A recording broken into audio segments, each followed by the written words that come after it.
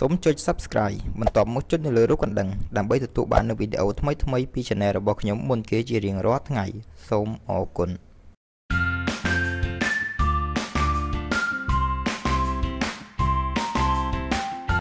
សិក្សាអំពីបុណ្យអុំទូកនិងបុណ្យច្រុតព្រះនង្គ័ល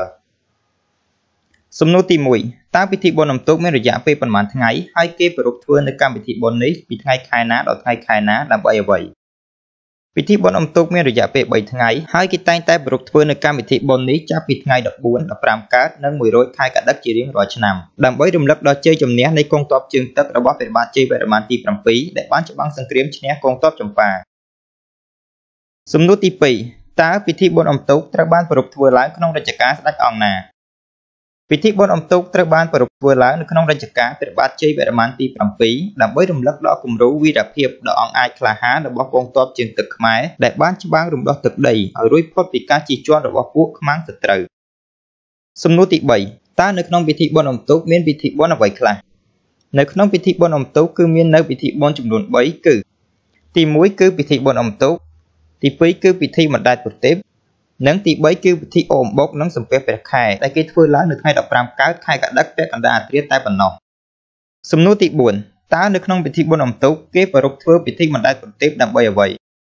នៅក្នុងពិធីបុណ្យអុំទូកគេប្រារព្ធធ្វើពិធីបណ្ដែតប្រទេពគឺដើម្បីឧទ្ទិសកុសលដល់ព្រះគង្គានិងព្រះធរណីដែលបានផ្ដល់នូវសេចក្តីសុខសម្បូរសប្បាយនិងភោគផលក្នុងការងារកសិកម្មសម្រាប់ការចិញ្ចឹមជីវិតប្រចាំថ្ងៃរបស់មនុស្សលោក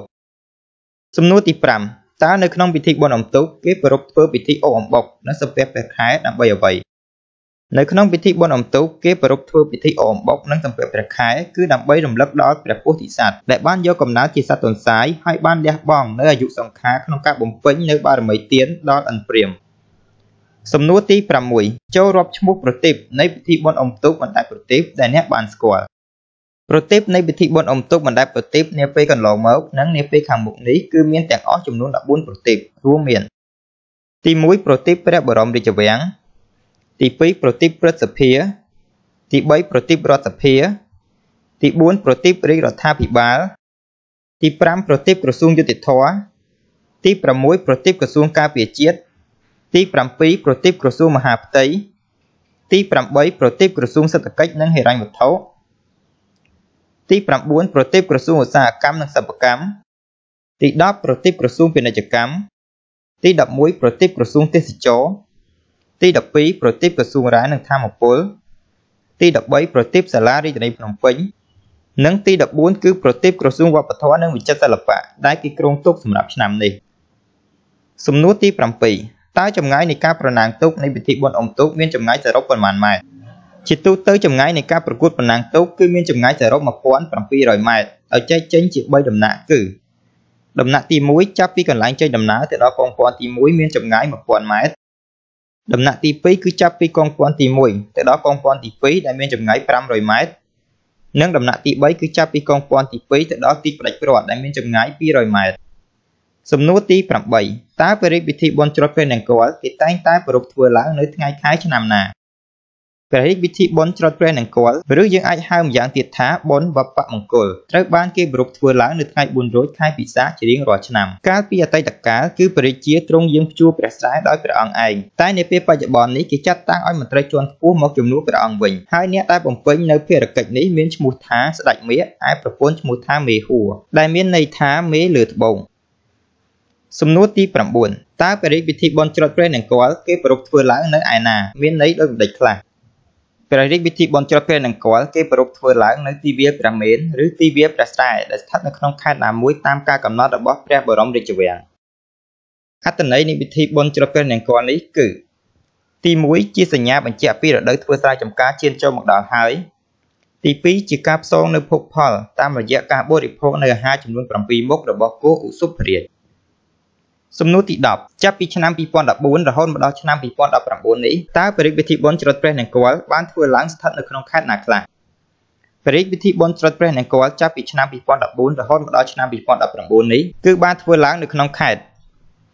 ខេត្តកណ្ដាលក្នុងក្រុងតាខ្មៅគឺនៅឆ្នាំ2014ខេត្តបាត់ដំបងគឺនៅឆ្នាំ2015ខេត្តសៀមរាបគឺនៅឆ្នាំ2016ខេត្តព្រៃវែងគឺនៅឆ្នាំ2017 ខេត្តស្វាយរៀងគឺនៅឆ្នាំ2018និងនៅឆ្នាំ2019នេះគឺស្ថិតនៅក្នុងខេត្តតាកែវសំណួរទី11តើអាហារទាំង7មុខដែលគោឧសភរាជបរិភោគនោះមានអ្វីខ្លះហើយប្រសិនបើគោឧសភរាជបរិភោគអាហារណាមួយតើមានន័យដូចម្តេចដែរអាហារទាំង7មុខដែលគោឧសភរាជបរិភោគនោះរួមមាន ទី1គឺស្រូវទី2គឺពោតទី3គឺសណ្តែកទី4គឺល្ងទី5គឺទឹក ទី6គឺស្មៅស្រស់ទី7គឺស្រា ហើយបើគោសុបរិយបរិភោគនៅ ស្រូវមានន័យថាស្រូវនឹងទទួលបាននូវទិន្នផលល្អពោតមានន័យថាពោតនឹងទទួលបាននូវទិន្នផលល្អសណ្ដែកមានន័យថាសណ្ដែកនឹងទទួលបានទិន្នផលល្អល្ងមានន័យថាល្ងនឹងទទួលបានទិន្នផលល្អទឹកមានន័យថានឹងមានទឹកភ្លៀងគ្រប់គ្រាន់សម្រាប់ធ្វើស្រែចម្ការរបស់ប្រជាកសិករ ស្មៅស្រស់មានន័យថានឹងមានជំងឺរាតត្បាតដល់សត្វពាហនៈស្រាមានន័យថានឹងកើតមាននៅអំពើពាលាអាវ៉ាសែចោលឆក់ប្លន់ស្រុកទេសកើតហេតុមិនស្រួលសំណួរទី12តើព្រះរាជពិធីបុណ្យច្រត់ព្រះនង្គ័លគេធ្វើឡើងក្នុងគោលបំណងអ្វីព្រះរាជពិធីបុណ្យច្រត់ព្រះនង្គ័លគេប្រារព្ធធ្វើឡើងក្នុងគោលបំណងដោយខាងក្រោមទី1គឺសម្ពោធខ្សែតរដូវថ្មីដើម្បីប្រកាសប្រាប់ដល់ប្រជាកសិករឲ្យចាប់ធ្វើស្រែចម្ការទាន់ភ្លៀងដើមឆ្នាំ ទី2បន់ស្រន់ដល់ទេវតារក្សាទឹកដីឲ្យជួយបង្អុរទឹកភ្លៀងនិងដាស់ព្រះធរណីឲ្យផ្ដល់នូវជីវជាតិសម្រាប់ផលដំណាំទី3បង្ហាញពីរបបកំហើញថ្មីលើការអភិវឌ្ឍនៃវិស័យកសិកម្ម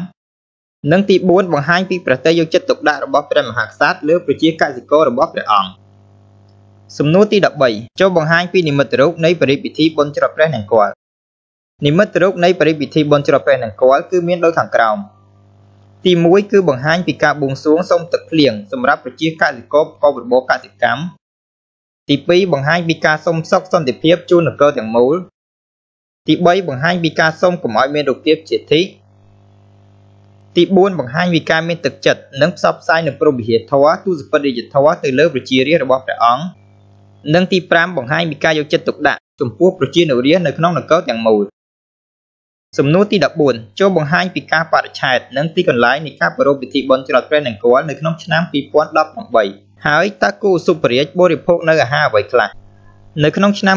2018ពិធីបុណ្យច្រត់ព្រះនង្គ័លត្រូវបានប្រារព្ធធ្វើឡើងនៅថ្ងៃ4រោចខែពិសាខឆ្នាំចសម្រិតស័កពុទ្ធសករាជ2562ត្រូវនឹងថ្ងៃប្រហ័សទី3ខែឧសភាឆ្នាំ2018កន្លែងដែលប្រារព្ធពិធីនេះគឺវាព្រះស្រែស្ថិតនៅក្នុងខេត្តស្វាយរៀង ហើយគោសុភរាជបានបរិភោគនៅអាហារចំនួន3មុខរួមមានពោតស្រូវនិងសណ្តែកសំណួរទី15ចូលបង្ហាញពីការបរិច្ឆេទនិងទីកន្លែងនៃការប្រារព្ធពិធីបុណ្យច្រត់ព្រះនង្គ័លនៅក្នុងឆ្នាំ2019នេះហើយតើគោសុភរាជបរិភោគនៅអាហារអ្វីខ្លះ នៅក្នុងឆ្នាំ2019នេះពិធីច្រត់ព្រះនង្គ័លត្រូវបានប្រារព្ធធ្វើឡើងនៅថ្ងៃ4រោចខែពិសាខឆ្នាំកុលឯកស័កពុទ្ធសករាជ2563ត្រូវនឹងថ្ងៃពុធទី22ខែឧសភាឆ្នាំ2019កន្លែងដែលប្រារព្ធពិធីនេះគឺទីព្រះស្រែលើទីលានតារាងបាល់ទាត់គិរីវងសុកសានជ័យនៅភូមិត្រពាំងអង្គសង្កាត់រកាក្រៅក្រុងដូនកៅខេត្តតាកែវហើយគូឧសុភរាជបានបរិភោគនៅអាហារចំនួន3មុខរួមមានពោតស្រូវនិងសណ្តែក អញ្ចឹងនៅក្នុងវីដេអូនេះគឺខ្ញុំសូមបញ្ចប់ត្រឹមសំណួរទី15ទាក់ទងជាមួយនឹងសំណួរចម្លើយបបថទូទៅរបស់យើងដែលសង្ខេបអំពីបុណ្យអុំទូកនិងវិធីបុណ្យច្រកពេលនគរអញ្ចឹងវីដេអូក្រោយយើងនឹងជួបគ្នាសាជាថ្មីម្ដងទៀតអញ្ចឹងខ្ញុំសូមអរគុណសូមជម្រាបលា